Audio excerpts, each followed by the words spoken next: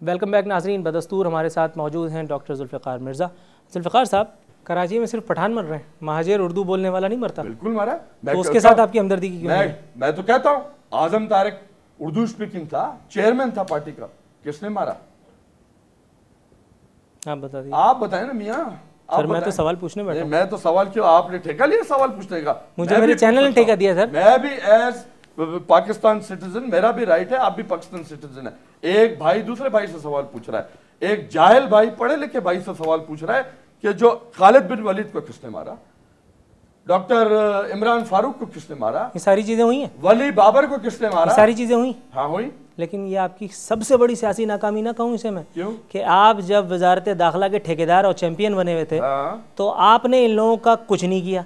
आप वही yes sir yes sir yes sir करते रहे। आपके पॉलिटिकल लीडर मफाहमत की बांसुरी बजाते रहे और आप उसके ऊपर थिरकते रहे। देखिए तो आप भी तो फिर एक मोरा हैं। बांसुरी जो बजा रहा था वो कोई और बजा रहा था। मैं उस बांसुरी के डे वन से खिलाफ था। मैं पहले दिन से मैं उनका मुखालिफ था। मैंने मुखालफत की। मुझे पता था ये नहीं सुधरेंगे। आप उसकी पढ़ लें स्टेटमेंट अजमल पहाड़ी की। वो अपने मुँह से कह रहा है। कि मैंने इतने महाजर मारे जो हमको छोड़ के चले गए थे। नाम उसने लिखा है एड्रेसेस दिए हैं उन लोगों को। लेकिन एक चीज़ और भी है आप पुलिस के महकमे के हेड रहे हैं। मैं दावे से कहता हूँ अगर आप ही की हिफाजत पे खड़ा हुआ कोई पुलिस वाला आपको अभी इस वक्त थर्ड डिग्री देना शुरू कर दे। आप तोते की तरह बोलेंगे। तोते की तरह। वो आपको दो घंटे खराज तहसीन पेश करेगा और आप अपनी तमाम तर रऊनत के साथ धड़ाम से ज़मीन बोस हो जाएँगे। जुल्फ़ार मिर्ज़ा कहीं नहीं मिलेगा। नहीं, कहीं और उस वक्त मैं आप पाँच सौ खून कबूलेंगे मैं आपकी बात एग्री कर रहा हूँ जी। मैं तो आपसे ये पॉइंट कंटेस्ट ही नहीं कर रहा हूँ। I totally hundred percent I am with you on this जो सपोर्टिंग एविडेंस होती है वो भी कोई चीज़ होती है। आप अगर किसी की डेड बॉडी जाकर रिकवर कराएँगे वो पुलिस दफन करके आपसे रिकवर करेगी। वो सब झूठ ये सब एविडेंस क्रिएट करेगी पुलिस। वेपन ऑफ़ क्राइम आपके से रिकवर होता है, वो भी पुलिस आपको देगी कि ये क्राइम हुआ है। फिर तो सब चीज़ झूठ है। फिर तो कुछ भी किसी से लिए भी किया जा सकता है। हाँ ऐसा होता है, लेकिन हंड्रेड परसेंट नहीं होता। आप टेन परसेंट ट्वेंटी परसेंट भी मार्जिन दें।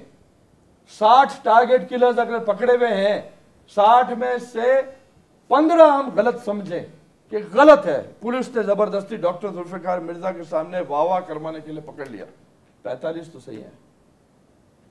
किसी भी पॉलिटिकल पार्टी में इस तरह के आप बताएँ कि इस तरह की किलिंग मशीन हो उनके पास। वेल ऑर्गेनाइज्ड टीम्स हो उनके पास। फ़ोन कॉल पे आती हो मार के चले जाती हो। ये दीगर जमातों में नहीं है। किसी पॉलिटिकल पार्टी में नहीं है। किसी भी पॉलिटिकल पार्टी में नहीं है। काला दम जो जमायतें हैं उनमें बिल्कुल है उनके लोग भी हमने पकड़े पीपल्स पार्टी और एमक्यूएम की बात कर रहा हूँ। पीपल्स पार्टी में नहीं है। बिल्कुल नहीं है। रिएक्शन में रिएक्शन मैं आपको कह रहा हूँ मैं सौ बंदा मार दूँगा एमक्यूएम का अगर मुझे मारने आएँगे तो। मैं ओन करूँगा मार के। ला मैं मारूँगा। अगर मुझे कोई मारने आया मेरे घर वालों को मारने आया मेरे दोस्तों को मारने आया मैं उधर मौजूद होऊँगा मैं सौ बंदा एमक्यूएम का मारूँगा और मैं ओन करूँगा।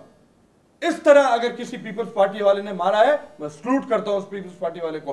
तो उसने एमक्यूएम वाले को मारा है। बिल्कुल अगर रिएक्शन में अपनी हिफाजत में हकीकी वाले ने आफाक वालों ने भी अगर एमक्यूएम को मारा है अच्छा किया और मारना चाहिए। एएनपी ने मारा है और मारना चाहिए क्रिमिनल मर्डर अगर गवर्नमेंट हिफाजत नहीं कर सकती हम अपनी हिफाजत खुद करना जानते हैं और अपनी करते रहेंगे।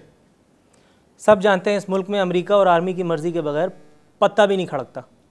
कैसे मुमकिन है कि जुल्फ़ार मिर्ज़ा सिस्टम के ख़िलाफ़ अचानक बेदार होकर के और खड़ा हो जाए और तमाम लोगों की विकटें खड़काना शुरू कर दे? उसको किसने सिग्नल दिया? कौन है आपके पीछे? किसकी आशीर्वाद से आप ये सारे काम कर रहे हैं? मुझे किसी ने दो तीन अरब रुपए दे दिए होंगे मैंने ले लिए और मैं कर रहा हूँ। किसने? पहली बात आप अमेरिका के साथ आर्मी को मत खड़ा करें। आर्मी में अमेरिकन नहीं है। आर्मी में आप और मेरे जैसे मुहब वतन पाकिस्तानी है। पाकिस्तान की आर्मी है, इंडिया की नहीं है इसराइल की आर्मी नहीं है तो आर्मी को आप अमेरिका से कैसे जोड़ रहे अमेरिका अपने वेस्टेड इंटरेस्ट में पाकिस्तान को इस्तेमाल करती आई है, पाकिस्तानियों को इस्तेमाल करती आई है, पाकिस्तान के लीडरशिप को ब्लैकमेल करके इस्तेमाल करती आई है। प्लीज़ आर्मी को आप साइड पर रखें। आर्मी हमारी है और इसमें मैं कोई आर महसूस नहीं कर सक, करता। कोई मुझे शर्मिंदगी नहीं है, मुझे फख्र महसूस होता है जब मैं अगर गवर्नमेंट फेल होती है गवर्नमेंट अपने मासूम लोगों की हिफाजत करने में फेल हो जाती है आर्मी को आना चाहिए। यह आर्मी के फ़रज़ में शामिल है as patriot Pakistani. Shamshad Ghauri sahab program के अख्तामी हिस्से में हम पहुँच गए। ये फरमाइएगा आपकी जमात में मुखलिस कारकुनों को इतना काल पड़ गया कि आपको जमात इस्लामी से परवेज़ महमूद साहब को उधार लेना पड़ा। हम्म। देखिए परवेज़ महमूद साहब को उधार लेना नहीं पड़ा। पैसे दे के ख़रीदा। नहीं ख़रीदना भी नहीं पड़ता है। दोस्तों की कोई कीमत नहीं होती। परवेज़ महमूद साहब जो हैं वो आफाक भाई के दोस्त हैं दोस्तों में से हैं। और आपके भी दोस्त होंगे जमात इस्लामी के लोग। अहल तशी भी आपके दोस्त होंगे। सुन्नी तहरीक के लोग भी आपके दोस्त होंगे। तो दोस्ती में कोई कैटेगरी नहीं होती है। दोस्त सिर्फ़ दोस्त होते हैं। और दोस्त बुरे वक्त में जो साथ खड़ा रहे और साथ दे वो सबसे अच्छा दोस्त बिल्कुल ठीक है। लॉजिकली ये बात आपकी बिल्कुल सही है लेकिन एक दोस्त की एसोसिएशन है मुल्क की एक मजहबी सियासी जमात से जिसके नज़म की मिसालें दी जाती हैं। मैं जमात इस्लामी की बात कर रहा हूँ। डॉक्टर परवेज़ महमूद अपने नज़म की अतात को छोड़ करके मिलने चले जाते हैं अफाक अहमद साहब से। उनकी सिक्योरिटी को लुक आफ्टर कर रहे हैं उनके दीगर मामला को निपटा रहे हैं। मुनवर हसन साहब उनको यानी वेकअप कॉल भी देते हैं और वो दरखूर इतना ही नहीं समझते। कुछ तो है जिसकी पर्दादारी है वो क्या है? देखिए ये ये उनका मसला है उनकी पार्टी का मसला है। वो शख्स मैं ये समझता हूँ दोस्ती निभा रहा है। तो पार्टी छोड़ दे? छोड़ दे वो उन, उनका मैटर है। ये सवाल इस सवाल का जवाब वो बेहतर दे सकेंगे कि मुनवर हसन ने उनके लिए क्या कहा या वो अपनी पार्टी के लिए क्या सोचते हैं उनकी पार्टी उनके बारे में किस तरह लेकिन इस वक्त तो यार आप है ना लेकिन लेकिन आपको वो क्या लगता है? क्यों दोस्ती निभा रहे हैं? देखिए ना दोस्ती निभा रहे हैं। मिर्ज़ा साहब भी दोस्ती निभा रहे हैं। और मैं चूँकि उनका कारकुन आफाक मिर्ज़ा साहब दोस्ती निभा रहे हैं या किसी की दुश्मनी? हाँ देखें, इसका जवाब मैं आपको ज़रा वजाहत से देना चाहता हूँ। डॉक्टर परवेज़ साहब एक अच्छे इंसान हैं और कराची के अच्छे शहरी हैं। वो भी कराची में सियासत करते रहे हैं और उन्होंने लोगों, सियासत के थ्रू उन्होंने बहुत लोगों की खिदमत की है। अच्छे इंसान के नाते उन्होंने कराची में जो जुल्म हो रहा है, खून बह रहा है उसके लिए, उसको रोकने के लिए अगर थोड़ा सा कंट्रीब्यूट करना चाहा तो क्या उन्होंने गुनाह किया है? मैं समझता हूँ, आपको, मुझे, जितने भी यहाँ हम लोग बैठे हुए हैं लोग, जितने भी पाकिस्तानी हैं और कराची में रहने वाले हैं, इन सबको जुल्म के ख़िलाफ़ आवाज़ उठानी चाहिए। कोई कहे या नहीं कहे, जमायत इस्लामी एज अ होल में बात कर रहा हूँ, अगर उनसे आप पूछेंगे तो वो अल्ताफ़ हुसैन की पार्टी को कातिल जमात कहेंगे। सुन्नी तहरीक को एज अ होल आप पूछेंगे बैठ के, आप इंटरव्यू कर लीजिएगा।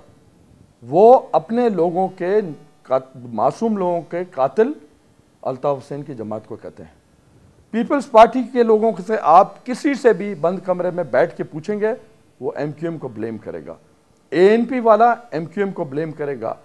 नवाज़ शरीफ की पार्टी एमक्यूएम को ब्लेम करेगी। मुस्लिम लीग फंक्शनल जितनी भी पॉलिटिकल पार्टीज़ पॉलिटिकली एक्टिविटीज़ करती हैं कराची शहर में वो मुतहदा कौमी मूवमेंट अल्ताफ़ हुसैन वाले को ब्लेम करते हैं फॉर ऑल दीज मर्डर्स अगर कुछ लोग तो पीपल्स पार्टी की क्यादत सावन की अंधी तो नहीं है कि उसको ये नज़र नहीं आ रहा कि पाकिस्तान की तमाम पॉलिटिकल पार्टीज़ एम के अगेंस्ट खड़ी हैं और वो उनमें नशोनुमा के लिए खाद डाल रहे हैं उनको दुरुद सलाम पढ़ पढ़ के बख्श रहे हैं। देखें आप यहाँ से अगर इस्लामाबाद जाना चाहें बाय रोड तो तीन चार डिफरेंट रास्ते हैं जाने के।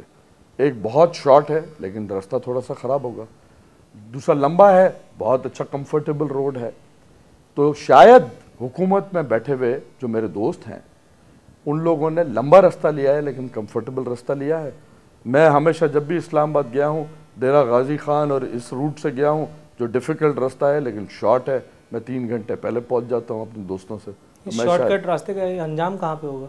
अंजाम जो भी हो इनशाला बेहतर ही होगा। इनशाला अल्लाह अल्लाह का रसूल करेगा कराची के लिए बेहतर होगा। Zulfiqar Mirza versus the system आपके ख्याल में इस टसल का क्या नतीजा बरामद हो सकता है? Doctor Zulfiqar Mirza versus Altaf Hussain. Altaf Hussain is not the system system is Pakistan. Pakistan was founded by Quaid Azam Mohammad Ali Jinnah not Altaf Hussain. Zulfiqar Mirza versus Altaf Hussain आप ही की ज़ुबानी अगर मान लूँ बिल्कुल। इस जंग का क्या नतीजा बरामद होगा? जो भी नतीजा हो झूठ की हार होगी सच की जीत होगी इनशाला यानी आपके हारने के चांसेस हो सकते हैं। मैं मेरी जीत होगी मैं मुसलमान हूँ मेरा बिलीफ ये है कि सच हमेशा जीतता है एज मुस्लिम और मेरा ये बिलीफ है कि मैं जीतूँगा। रिलीजन के खाने और- में उनके भी और रिलीजन के खाने में उनके भी इस्लाम लिखा है। अब भले लिखा हो तो प्रैक्टिस कौन करता है? प्रैक्टिस कौन करता है? मैं गुनाहगार हूँ, मैं मानता हूँ, लेकिन मैं काफिर नहीं हूँ। किसी की जो जान लेता है, वो अल्लाह की कुदरत से खेलता है। अल्लाह की दी हुई चीज़ को ऑल्टर करता है। मैं अपने को खराब करता हूँ, जो भी करता हूँ, गुनाह करता हूँ तो मैं दूसरे की जान नहीं लेता हूँ। तो इसलिए मैं उनसे समझता हूँ, अपने को मैं समझता हूँ, हो सकता है मैं ना हूँ, लेकिन मैं अपने को ज़्यादा बेहतर मुसलमान समझता हूँ। ठीक है। Thank you so very much for giving us your time Zulfiqar sahab, आप भी और शमशाह साहब, आप भी। नाजरीन, सियासत का ये मैदान कारजार हमेशा नित नए रंग लेकर आता है। दुआ है कि इस बार कम अज़ कम ये रंग खूनी तो हरगज़ ना हो। इसी के साथ अपने मेज़बान नूरुल आरफीन सिद्दीकी को इजाज़त दीजिए। अल्लाह हाफिज़ नासिर।